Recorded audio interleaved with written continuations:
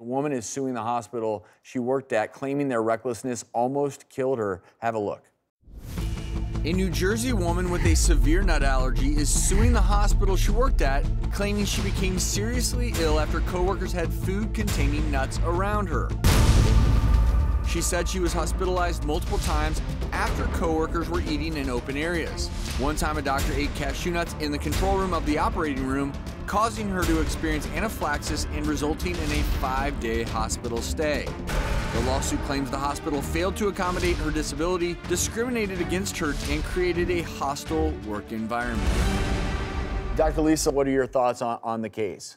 This is shocking in a lot of ways because we're in a hospital setting where we have medical professionals that recognize that an anaphylactic allergic reaction to nuts is something that is a pretty serious condition that causes people that have that allergy to have this severe kind of emotional, psychological, and physical reaction, right? When they see people that are around them.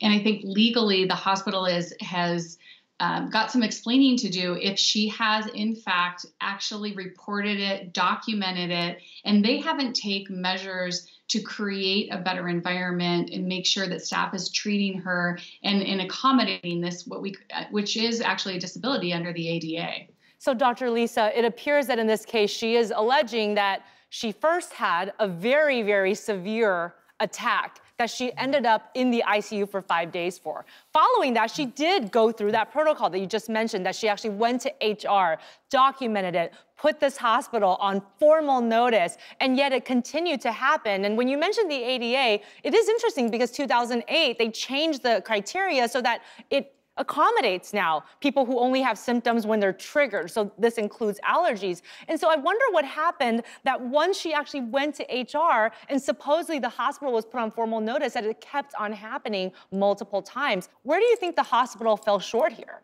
If HR was in fact sent a report and said, this is a condition and I need an accommodation, and they didn't put training in place for mm. staff, if they did not put any pictures uh, up that says this is a food allergy zone and created kind of a safe space for her to be in or in these areas that she was working in, the hospital is going to have a pretty serious situation. And I think that Dr. Travis is totally right in the sense that we're going to see more cases like these as we go forward. And the fact that the law hasn't caught up in these workplace environments and figured out an accommodation, I think is just a matter of time. And unfortunately, that's what lawsuits like this do is it requires and sets us up to make those changes in our in our other in our other settings. But Dr. Lisa, there's 0% chance that any staff is going to purposely eat nuts in someone with a severe nut allergy. I just I don't believe that.